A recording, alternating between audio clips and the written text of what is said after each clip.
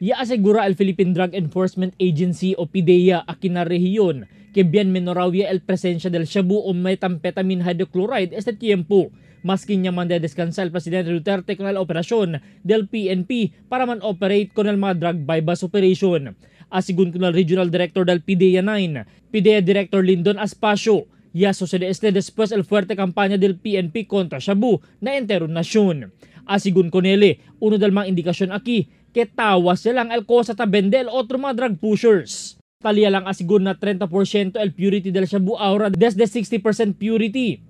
Es el cosa resulta asigun del di ila qualitative i quantitative analysis na di ila mga chemist na ahensya kita pwede man analyze kung mga samples del Shabu kita pwede sila kuhi del mas temprano.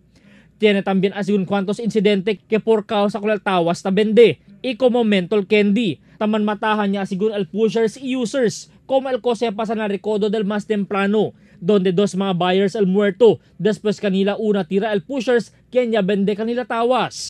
Yari tira también si Aspacio que mediante el campaña del internal cleansing del PNP tiene también sila semejante campaña pero ya asegura que menos el posibilidad de la del DILA agents con este irregular actividades. Albert Luna, Dateline Zamboanga.